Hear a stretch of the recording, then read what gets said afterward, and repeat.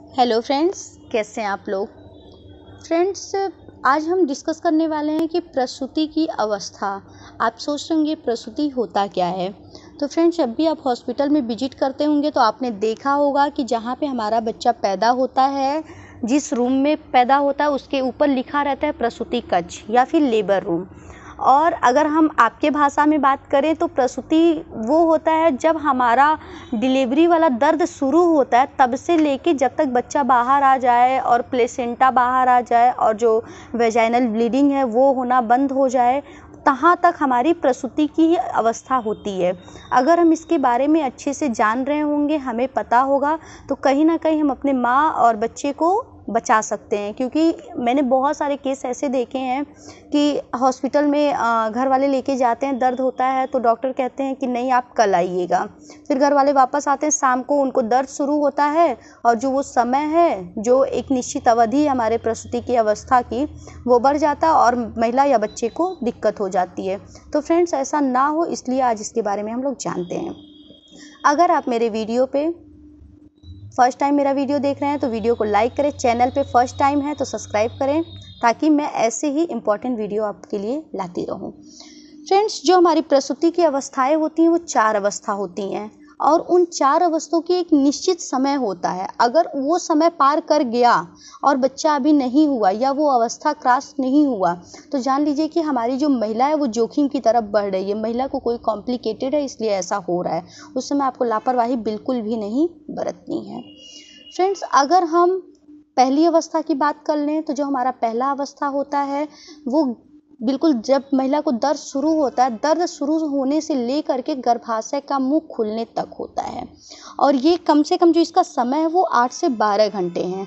अगर बारह घंटे के ऊपर हो जा रहा है, महिला को दर्द भी है, गर्भाशय का मुँह भी खुल गया है, बच्चा बाहर नहीं आ रहा है तो यानी कि ये कहीं ना कहीं कोई कॉम्प्लिकेटेड है, महिला दिक्कत में है, जोखिम की तरफ़ बढ़ रही है। ठीक है? समय क्या है? आठ से बारह घंटे।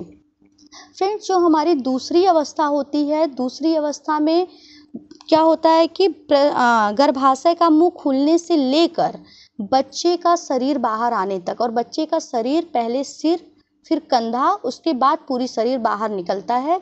ये हमारी दूसरी अवस्था होती है, और जो इसका टाइमिंग है वो एक घंटा है।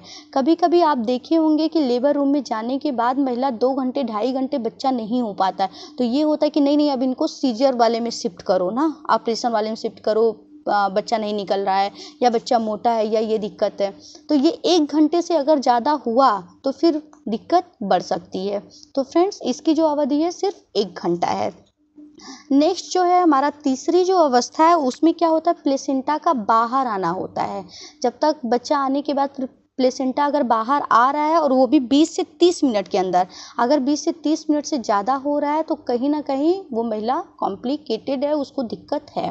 फ्रेंड्स आप ये भी सोच होंगे कि मैंने डायरी ले रखी है तो ये मेरी ट्रेनिंग की डायरी है जो हम लोगों को ट्रेनिंग में बताया जाता है, ताकि मैं फ़ील्ड लेवल पर अपनी संगिनी को, अपनी आशा को वही सारी चीज़ें पहुँचा पाऊँ, वही सारी चीज़ें बता पाऊँ जो हमें ऊपर से स्टेट लेवल से पता चलती हैं।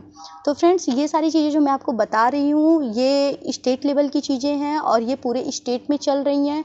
वही मैं आपसे डिस्कस कर रही हूँ क्योंकि बहुत सारे रिसर्च के बाद ही कोई चीज़ निकल के आता है कि ये अवस्था कितने मिनट की होनी चाहिए, क्या होना चाहिए।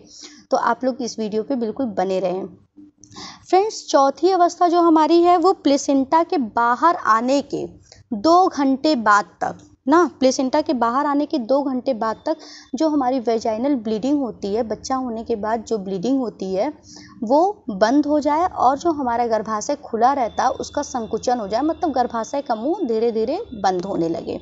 ये जब ऐसा हो जाता, तब हमारी जो है प्रसूति की जो चारों अवस्था है, वो ख़त्म होती है। उसके बाद फिर हम लेबर रूम से बाहर आते हैं। और दूसरे रूम में शिफ्ट किए जाते हैं। तो फ्रेंड्स, ये इसलिए मैं आप लोगों को बता रही हूँ, ये जानना इसलिए ज़रूरी है क्योंकि आप गलती ना कर बैठे। अगर 12 घंटे से ज़्यादा समय हो रहा है या आप घर पे ही 8 से 12 घंटे से ज़्यादा समय बिता दिए तो आपके बेबी और आपके यहाँ की जो गर्भवती महिला हैं, जो माता हैं, उनको दिक्कत हो सकती है। तो आप ऐसी दिक्कत ना करें।